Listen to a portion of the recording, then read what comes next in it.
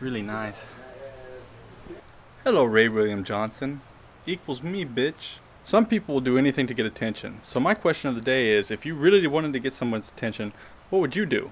And if you don't make this the common question of the day, I'll make some butt loving to your mother till she thinks her tonsils are hemorrhoids. Love your show. Ciao. It's pretty nice, huh?